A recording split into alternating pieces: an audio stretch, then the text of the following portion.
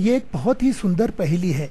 एक दर्जन कीलों को एक कील के मत्थे पे किस तरह से टिकाएँगे? अब ये बिल्कुल असंभव सा कार्य दिखता है, पर दरअसल है बहुत आसान। इसके लिए एक कील लीजिए और बाकी कीलों का, एक का सिर बाएँ, दूसरे का दाएँ, एक का बाएँ, दूसरे का दाएँ, इस क्रम में उनको सजाते जाइए। इस तरह से चार कीले बाएँ ओर होंगी और चार कीले दाएँ ओर होंगी।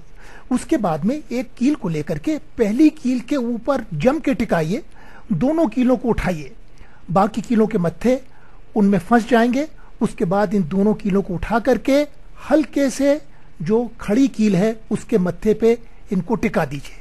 और आश्चर्य से ये संतुलित रहती हैं और इनको हम झूला भी झूला सकते हैं। कितना मज़ेदार खिलौना है।